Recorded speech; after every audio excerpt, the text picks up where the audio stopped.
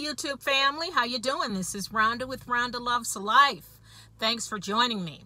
All right, I am headed to the gym, but I had to record this video.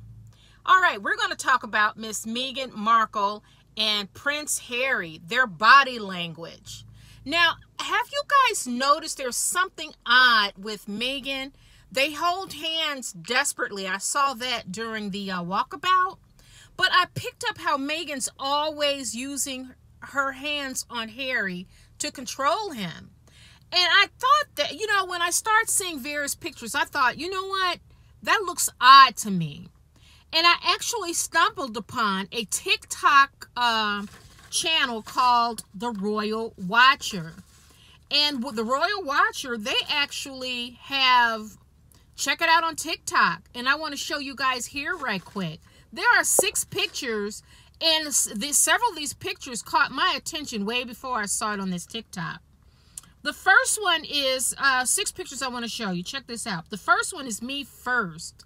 And it, uh, Meghan is, they're uh, meeting, Harry and Meghan's, as you can see in the picture, they're meeting some dignitary, and Meghan puts her hand on his shoulders to, to instruct Harry, stop, let me go first. See these two pictures. Interesting, right? The third one is Don't Interrupt Me, Mom. Now look at how Meghan Markle glances at her mom. This look, her entire mask falls and you get to see the real Meghan. She's looking at her mom when her mom decides to chime in on a conversation. Looks can tell you everything about their relationship. Look how Meghan looks at look the glance look at the glance she gives her own mother disturbing right okay so we got two three. Fourth picture harry refuses to look at meghan. We all saw this during the queen queen elizabeth's funeral. Remember harry would not look at her and then he was looking at someone on the side and she turns her head. This picture says a lot too. Here's another one. Meghan interrupts harry mid-conversation uh, uh, uh, and during when they were talking to some uh, charitable uh, heads or something, and this is an actual video, and it looks like she basically she was pregnant. She interrupt Harry when he was talking to one of the uh, uh, donors, and BBC actually cut the part where she interrupted them.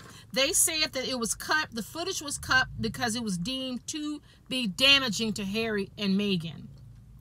All right, and the sixth and final pick here is Meghan desperately holding on to. We saw this at their uh, Archewell event they had in London right before the Queen's death. How she's uh, holding on to the guy's arm.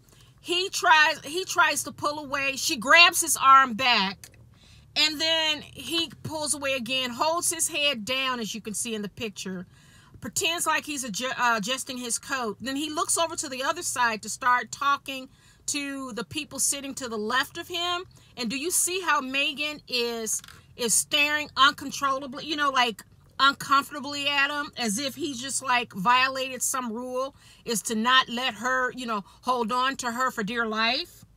And then she grabs his hand yet again after that to seal the fate that, hey, to seal the uh, agreement, hold on to me, you stay in my control, is very disturbing. This body language is very interesting to me.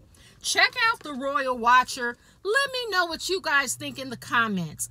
Thanks for watching, and I will chat with you soon. Love you. Ciao. Mwah.